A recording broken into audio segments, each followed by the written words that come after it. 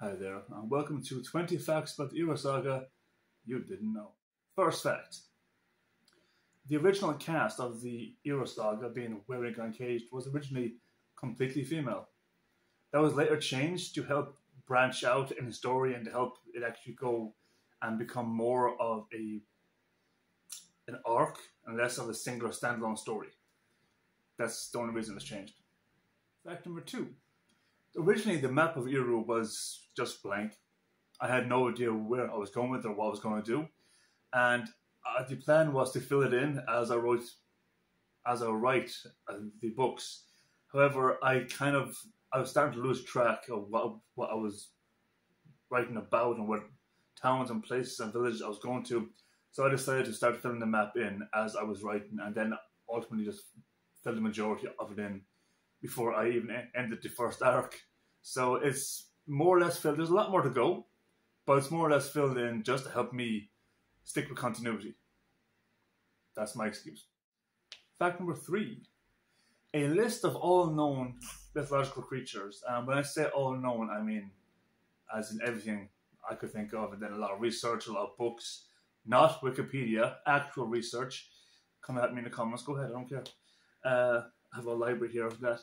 Uh, there was over 200 ones that I thought were kind of viable, and the reason I made that list is because I needed a creature, a, a beast, a being that would have been able to assert complete dominance over almost everything else. And out of that, no shocker, I chose the lycanthrope. Harvesters, bloodsuckers, who gives a fuck? Fact number four the ending of the fourth book, the final book in the first arc, uh, is still being changed as I'm actually speaking to you now. I've actually written nine different endings currently, and I have in mind another three. So, so 12 possible endings uh, to the fourth book and the, the end of the first arc. I have no idea how it's going to end. I have 12 ways I could end it. I don't know. I don't know yet. I, I, I don't know. Fact number five. Did you know that the first book, where we Wearing Uncaged, was originally over 400 pages long? However, due to advice and due to seminars, due to um, constraints upon what was allowed and not allowed to be uh, put in self-published titles or to be uh, put on shelves, at the time I originally published, the book was shortened down to 197 pages, depending upon size and format. Uh, so on average, the book was I think it was 195. I think it was the total uh, um, uh, page count for the first book out of 400. There was a lot of cut content, and unfortunately, now I can't re-release the book because it's now in Austin Macaulay's hands. So unfortunately, I would love to be able to actually bring out a completely unedited, uncut um, version of it, but for the time being, we're stuck with that. For the time being, we'll see what happens. I might actually put it in. Oh, there's an idea. I'll put the content in a different book as a flashback sequence or something like that. Hmm. Gorilla face. Fact number six: Paramore Unbound, the second book in the series, first arc, was originally meant to be the largest book with over a thousand pages. However, I think Amazon's page count is at is it 900 or 500? It's that that changed a lot as well. So I think it's 500 now, which is a damn shame.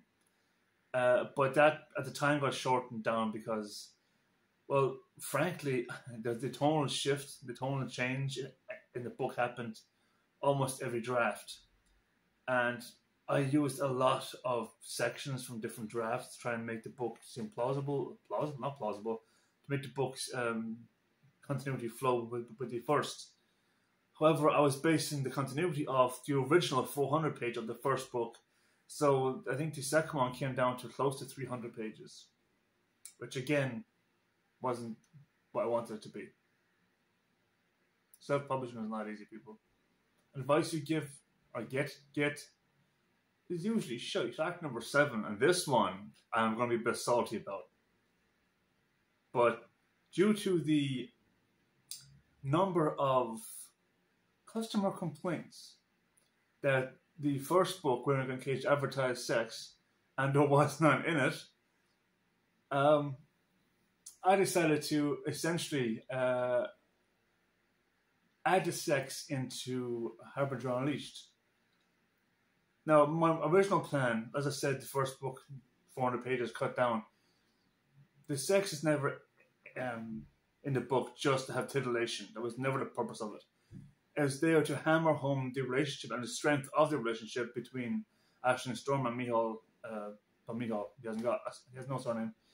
But that was there to actually emphasize that these two were a serious couple. They were actually more than just um, a simple flirtation or fling. They were having a physical relationship.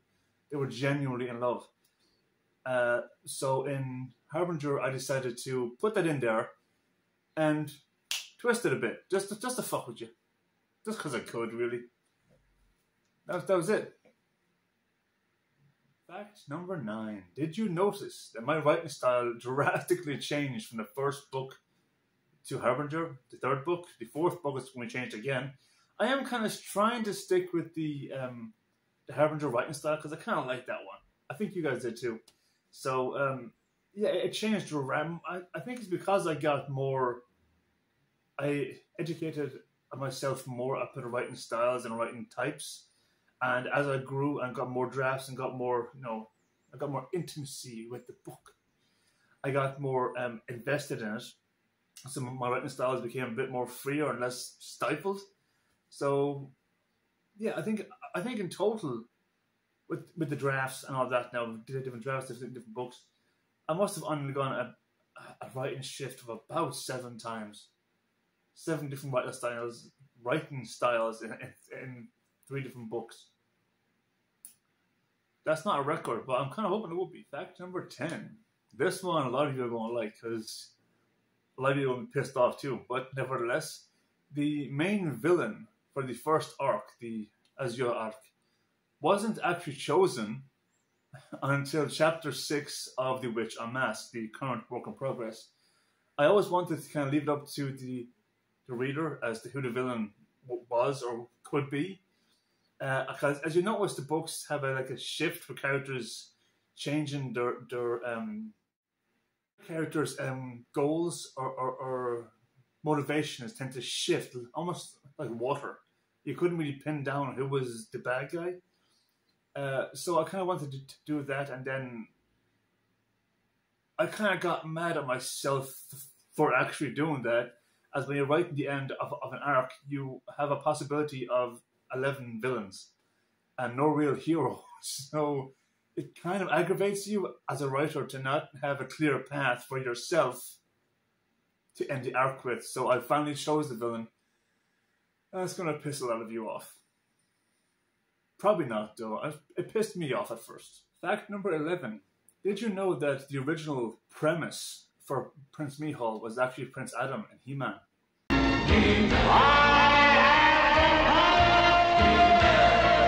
Uh, however, that had to be altered very quickly because the character had become too powerful, and frankly, I didn't know what to do with him. I had no like He-Man's most powerful man in the universe. He kicked Superman's ass a couple of times. He's bested almost everyone's come his way. Uh, so when I made Micheál the premise of like you know or, or yeah premise of He-Man, and then you add the enhanced everything of a lycanthrope on top of that, there's nothing really going to stand in that character's way. So I had to kind of reel it back in. And good God, that was a writer's lesson because that is so difficult to actually do. To try and stifle a character and make it seem plausible that's happening. That, that is a lesson I've learned the hardest way. Two books. Took two books to reel them back in. So don't plan ahead as a writer to a writer or reader, as a writer, you have to plan ahead. As a reader, you will know, you'll see it in his work when a writer has screwed up and knows he's heading towards a dead end here. He doesn't know what to do with it. So, yeah, He Man. Fact number 12. Did, did you know that every single inhabitant of Eiru is actually Norse pagan or Celtic pagan? there's no Christian or Catholics there. The Christian Catholics are all up north in Crownfall. But everything else there, and the national language spoke is Oscailtoch or Gaelic. the books in English, of course, because a lot of writers, writers, a lot of readers wouldn't have known Gaelic, so I had to put it in English. I, I, I have snuck in a lot of Gaelic there, to be fair. I really have, because it's fun and I speak Gaelic, so. In it goes. Fact number 13 the original uh, map of the Wearing facility in the first book, Wearing Uncaged, was actually made using Doom 2016 Snap Map Player. Uh, it took so long to get, but Doom actually looks like as the labs looks pretty close to how I wanted Werewolf to look. Uh, well, the Werewolf laboratories to look, uh, with the exception of the demons. But apart from that, pretty close to it. So I spent a few hours actually making that because I was bored one weekend. So yeah, Doom 2016 snap maps. Fact number 14. This one surprised me actually, uh, in, in, a very good way. The character of Dohi, D Y O H E, uh, was meant to be a comic relief just have a fun character, bit of you know, take the kind of sting out of how serious or how dark the story was getting. You throw him in there and make a bit light of the matter or subject. Uh, but I quickly decided to make him a, I wouldn't say a main character because he, he was never really a sub character, but I pushed him more into the forefront as the readers really start to actually like him. I thought, oh great, they want more of this character, so I pushed him forward a bit. And now I got asked if he's going to be in The Witch, uh, in The Witch Unmasked. And he had a part in it, but now that he's become so popular, I'm have to up his part somehow. So in Harbinger, there was a full chapter on him. It was a short chapter, but in Witch Unmasked, he's going to be in the book a lot more. So I've listened, I've heard, I've done. Cool. Fact number 15, and now some of you have noticed this because you pointed it out to me.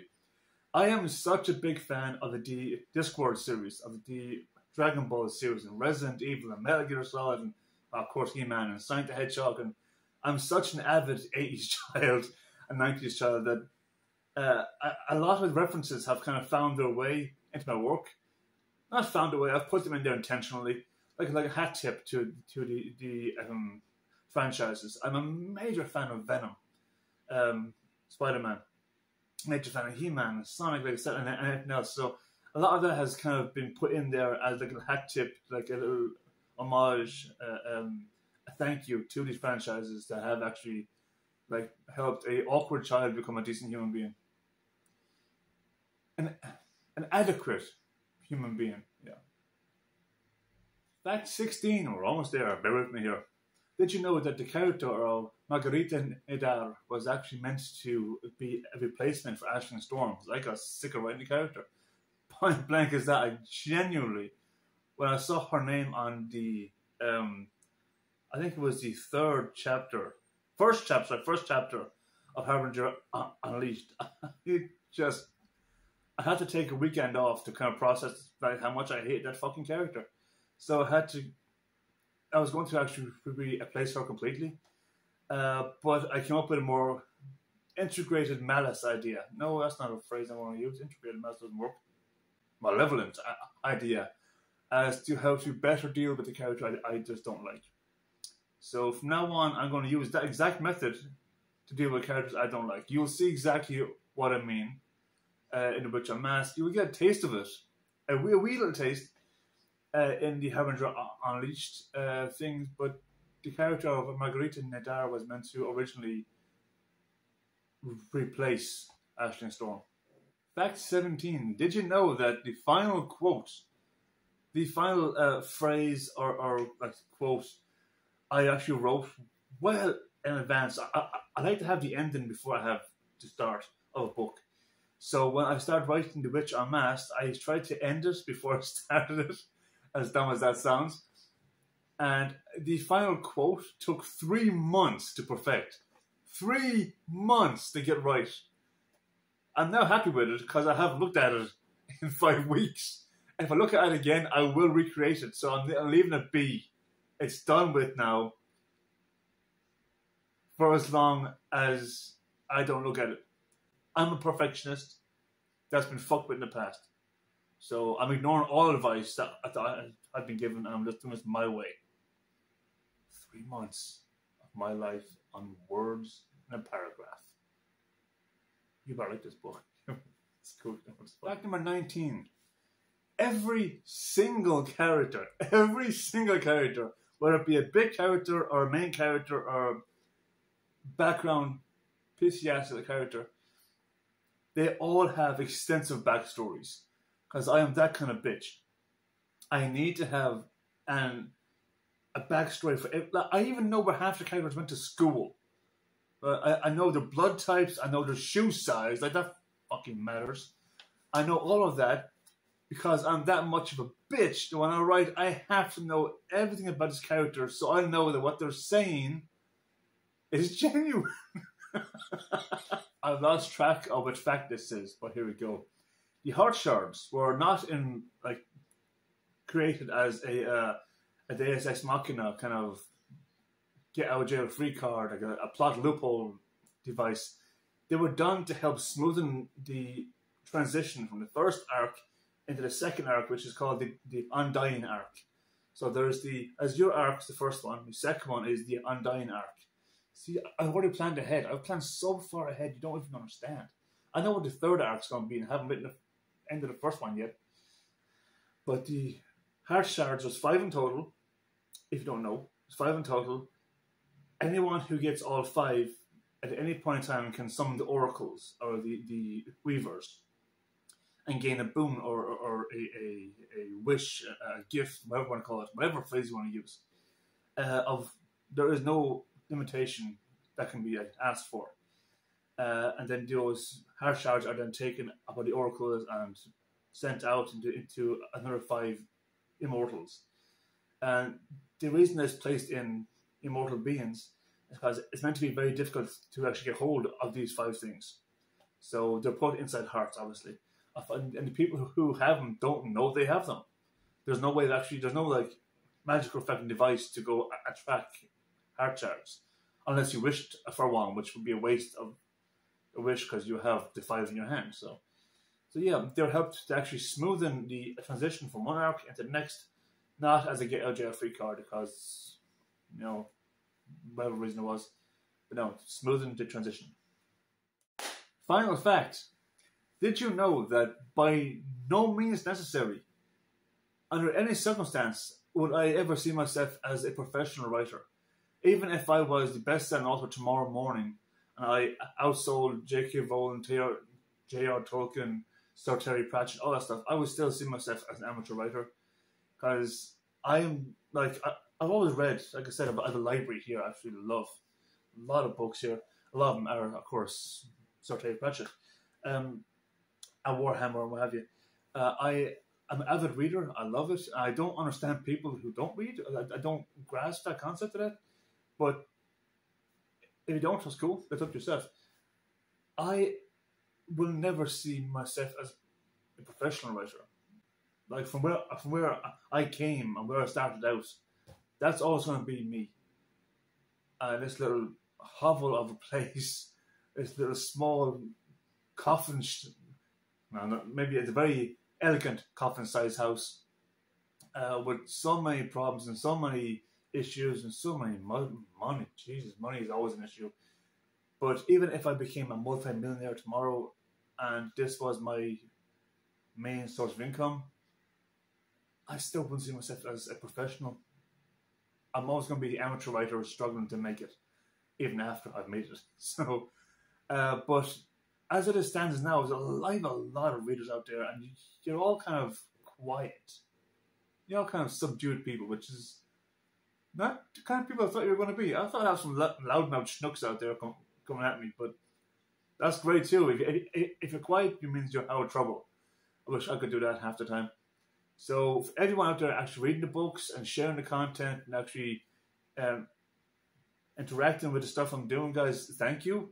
I, as, as I said in in the um, I don't I don't know if you guys actually read introductions or the epilogues, but I've stated in a lot of um, books and epilogues that I do this. If there's one person reading, I'm going to actually write for, for that, that one person.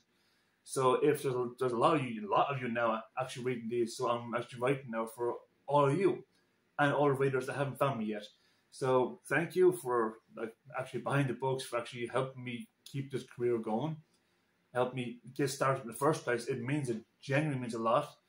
So I thank you guys from whatever this thing here is. It's, I think it's called a heart. Uh, so honest God, guys, thank you for that. It means a lot. And if you're on my social medias, I'm sorry for the, the thirst traps lately. I'm just I've been feeling good. I lost a bit of weight against my muscle mass back. So uh, there's a couple of thirst traps there, but no, it is enjoy yourself, right? Not like that. Not you nasty fuckers. Not like that. You partner like that, but still, thanks, guys.